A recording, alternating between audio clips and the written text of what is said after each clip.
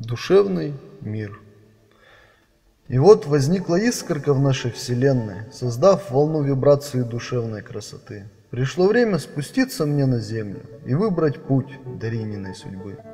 По опыту своему скажу я честно, я выбираю то место, где нужно нам вместе многое понять. Мне, душе, из многих жизней вселенских и очередным родителям урок свой осознать.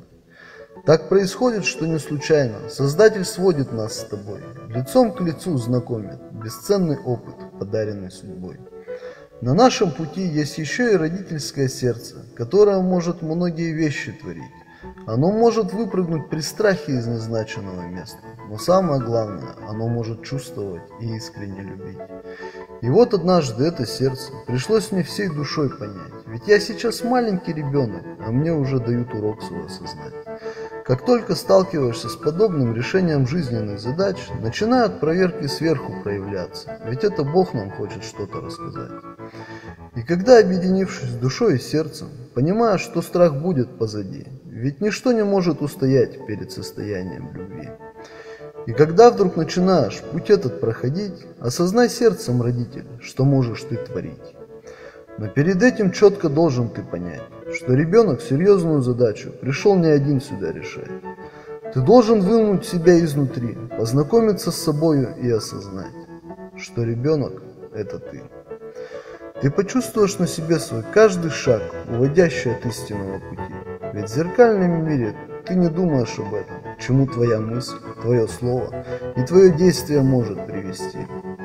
И когда вдруг лучик солнца промелькнет сквозь страх и боль, тогда уже и солнышко потянется за тобой, и что-то внутри проснется и начнет гармонизировать сердце с душой. Но если это солнышко превратится в состояние любви, то ты перейдешь на другой уровень жизни, не представляя, что есть волшебные миры. А пока, где бы ни находилась твоя душа, и какие бы действия она ни совершала, ее привело сегодня сюда то, к чему она стремительно бежала. Она мчалась, спотыкаясь обо все вокруг, и этот путь бесценным опытом зовут. И за это благодарность Богу надо пожелать, ведь только Создатель может на твои ошибки указать. С каждым шажочком в жизни, если ты будешь это все осознавать, любая преграда в жизни начнет плюсом зарастать. Ведь на минусовой полярности далеко не убежать. Ты творец собственного мира, и свое состояние ты можешь изменить.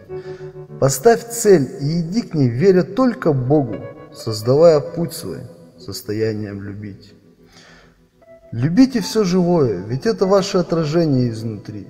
А проявляя ненависть кому-то, свой внутренний мир разрушаешь ты. Это также касается родных и близких, которые гордостью готовы свое эго подкрепить. Ведь то, что делаешь ты, это все напрасно и лишь только Бог тебя может осудить. А суд мы видим ежедневно, наблюдая за негативным состоянием в пути. А под конец дня мы возвращаем скандалы в семьи свои. Итак, мы приближаемся к тому, что выбор есть у каждого из вас. Быть в гневе, страхе или радоваться каждому из нас. Собирать все отпечатки на своем здоровье или же любить все живое вокруг. Выбор есть, и перед тобой нет никаких ограничений, мой великий друг. Вставай, иди, люби, твори, и каждого на своем жизненном пути. От чистого сердца за все благодари. Додом! Нами додом! Нами додом!